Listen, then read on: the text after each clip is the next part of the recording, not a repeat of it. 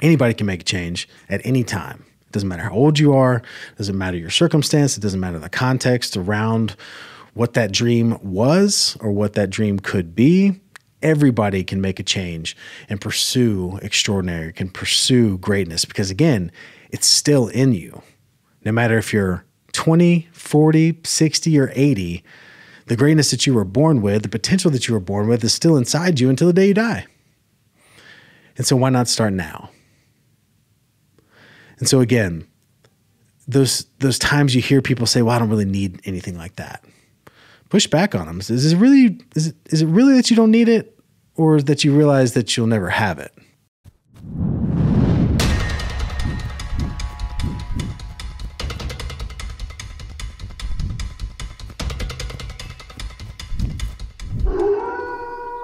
What's up, everybody? Welcome to the Sales Wolves podcast. As always, I'm your host, Tyler Harris, and I am a sales wolf. Ah!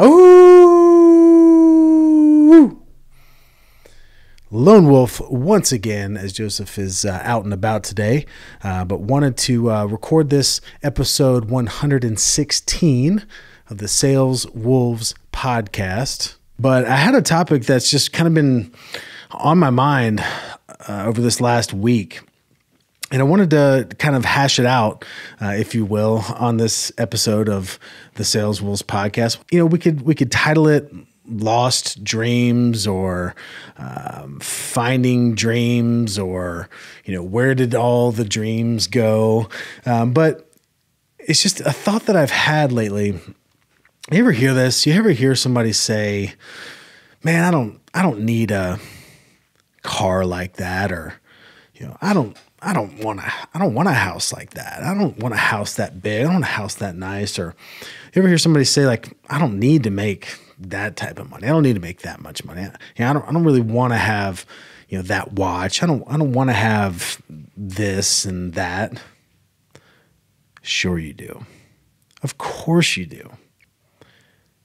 I think that our society the majority have just come to the realization that they're just not willing to put in the work required to have these things. And so, knowing that they're not willing to put in that work, they have wrapped this security blanket around it of the idea that they don't want it, or that they don't need it, or that they wouldn't enjoy it or like it because that makes them feel better about living their life of mediocrity. And you know, as I think about that, I, it makes me sad it, at first uh, because that's not what we were created for. As humans, we were not put on this earth to live mediocre lives. We were not put on this earth to settle for anything less than extraordinary. Because inside each and every one of us is the potential for greatness, is the potential for extraordinary. I truly believe that.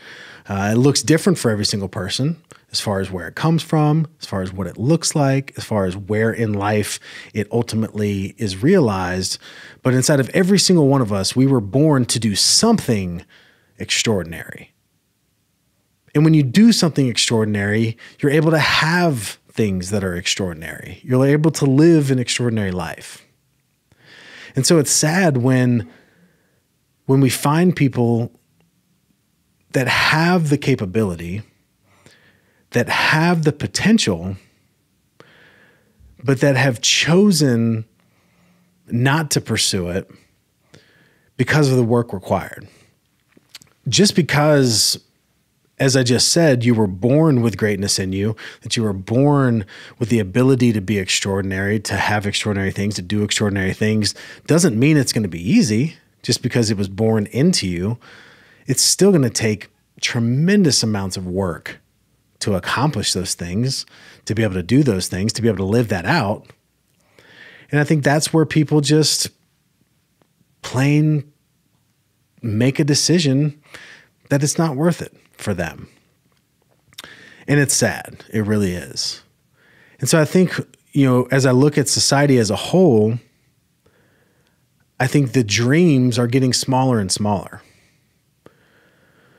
Whereas, you know, the the people that do go out and you know the one percenters, the the ones that go out and and accomplish just these incredible things in life, they had the audacity to to continue on those big dreams, to have huge goals, um, gigantic aspirations, and then they put in the work required to ultimately see it through and to see those to fruition. And and it's awesome to see that in somebody. And that's we all love those stories. But yeah, I've come to this realization that people they look at those stories, they read those stories, they watch, you know, these things happen as though they're watching a movie. As though it's not reality for them.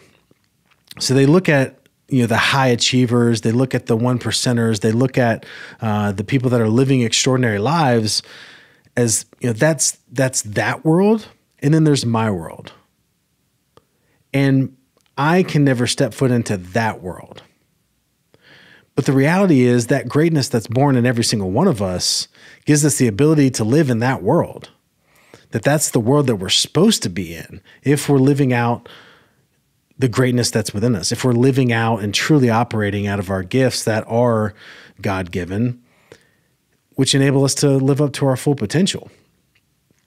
And it's just sad when people make this realization that, you know what, that that is great, but this is okay too. And in settling for a life of clocking in, clocking out, and just letting life happen to them instead of just living life on purpose, with purpose, for a purpose, living life on fire, um, waking up every day knowing that you're pursuing excellence, that you're pursuing the greatness that is already in you. And it's really it's been a very motivating thing for me to come to this realization. You know, even though I said it was sad, it is sad seeing that in others, but it's motivating know that to know that myself and, and many of you that are watching or listening to this, you still have those big dreams. You still have those gigantic aspirations.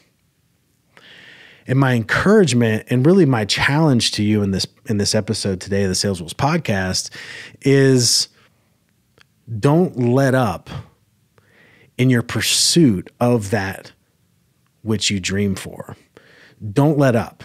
Because the second you let up, the second you take your foot off of the gas and start to apply the brake, is when that moment of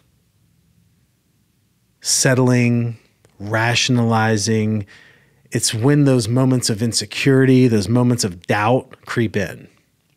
But as long as your foot has that gas pedal to the floor, there's no there's no chance of that creeping in. There's no opportunity for that to creep in because your eyes are always forward. And when your eyes are forward, that means you're moving forward. When progress is happening, self doubt doesn't have a chance. And the and remember, any progress is still progress. It's when we let up it's when we let up that ultimately these thoughts of doubt, these fears of uncertainty, these these moments come where we wonder, well, I wonder if I wonder if I, I wonder if it's even possible. And ultimately, those are just excuses. They're excuses as to why you may not be able to do some of these things that you're after or excuses as to, you know, why maybe you were meant for something smaller. And you guys have probably heard if you followed my content for any period of time, you know, I talk about Thom Shea, um, the author of Unbreakable, 23 year Navy SEAL, uh, just an incredible human being. You know, his theory on excuses that they are um, subtle, seductive, and believable. But the only time they can start entering your brain, which is the subtle part, is when they start to creep in, is when you're letting up.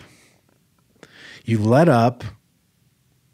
Breaks are necessary, but letting up for any period of time, these excuses are going to subtly creep in and then they're going to become seductive. You're going to start to think, well, you're right. Like you, maybe I don't need to work this hard. Maybe I don't need to push this hard. Maybe I don't, I don't need to do all this stuff that I'm doing.